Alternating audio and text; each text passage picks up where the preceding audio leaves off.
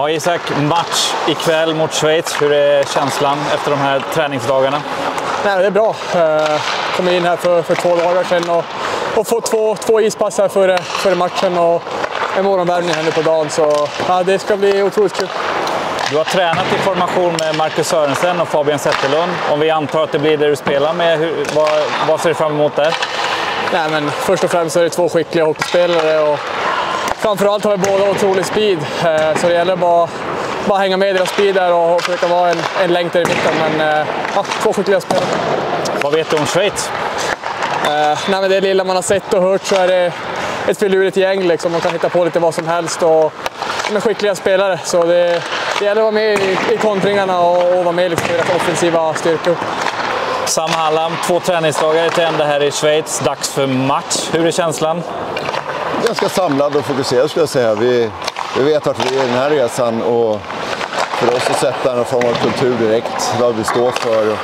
Många nya spelar in eh, på kort tid, så eh, mycket information men förhoppningsvis inte för mycket så vi kan släppa loss och köra.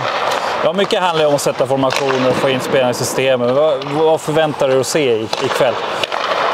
Att, att vi bitvis gör det vi ska och sen eh, kommer vi glömma bort vissa saker. Och då, förhoppningsvis så kan vi korrigera lite grann mellan match 1 och match 2 på lördag. Eh, så sen finns det ju många spelare som varit med oss ett tag som, som kan det. Men sen tror jag också att just kvaliteten i laget gör att vi, vi förhoppningsvis kunna lösa en del situationer och, och vara, eh, ha en edge i vårt offensiva spel, framförallt i vårt powerplay. Schweiz ligger sist i tabellen, men det har varit ganska tuffa matcher mot dem för Tre Kronor den här säsongen. Vad kan du säga om dem som motstånd? Jag tror att eh, tittar man bara på vinster och förluster så ser det ju väldigt enkelt ut. Men tittar man in i egentligen varje match vi har spelat mot dem det här året så har det varit relativt jämnt. Det var den sista matchen i Beijer tror jag som rann iväg lite till våra fördel. Men det ska ju liksom inte mitt jobb fullt att bedöma. Men jag, jag tyckte att Schweiz kom med kanske lite tunnare trupp än de brukar. Så är inte fallet nu. Nu är det mycket av deras bästa. Det är egentligen bara ett par gubbar kanske från Zürich som eh, toppar upp det de har på plats. Så det, det är ett bra Schweiz-lag vi möter.